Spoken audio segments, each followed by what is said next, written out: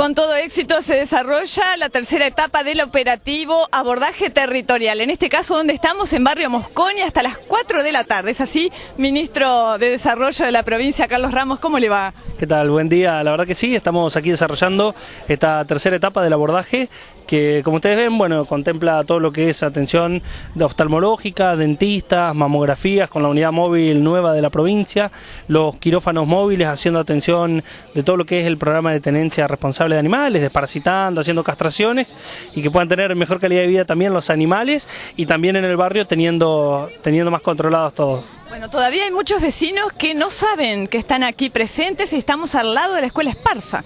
Exactamente, hemos estado el día lunes eh, allá por Almirante Brown y Don Bosco, eh, Almirante Brown y Las Paletas, perdón, el día de hoy estamos ayer y hoy aquí en la Escuela Esparza, donde a temprana hora ya han sido atendidas la mayoría de las personas, con más de 200 personas que se han atendido oftalmológicamente, todos los que han hecho dentistas, los controles, los controles de los animales, más el ANSES, más el registro civil también que está colaborando con un operativo especial aquí mismo.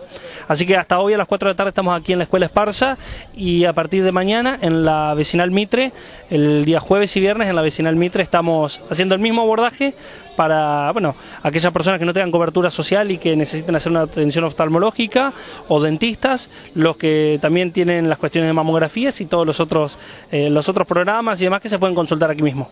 Bueno, sorprende la prontitud con la que se va trabajando. Hoy a las 4 de la tarde se entregan los anteojos. Exactamente, los que, los que se atendieron ayer y hoy eh, son entregados hoy a la tarde. Hay algunos casos que son anteojos de laboratorio, que son aquellos que tienen una graduación un poco más compleja, que esos son entregados aproximadamente en un mes, porque son mandados en tandas a que se realicen y son luego entregados. Y también hay algunas personas que tienen eh, enfermedades oculares que provocan ceguera, como puede ser la catarata o el terigio, que también son detectadas y en algunos días comenzamos las primeras 600 cirugías porque hemos atendido más de 16.000 personas con que hoy tienen sus anteojos. Digo, esto para nosotros es una alegría porque los que usamos anteojos sabemos lo que significa antes y después.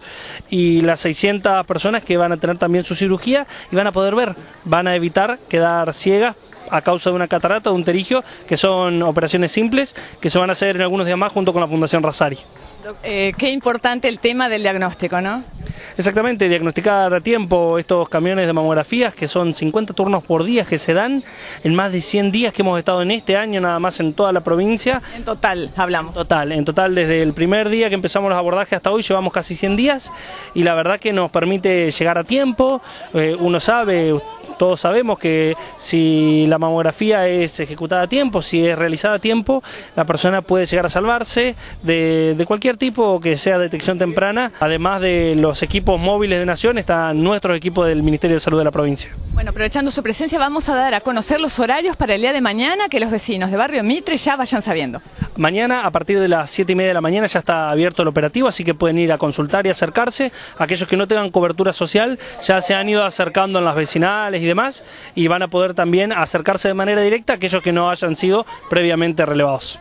Entonces, desde las siete y media de la mañana en adelante, atención los vecinos de Barrio Mitre para poder aprovechar esta tercera etapa del abordaje territorial.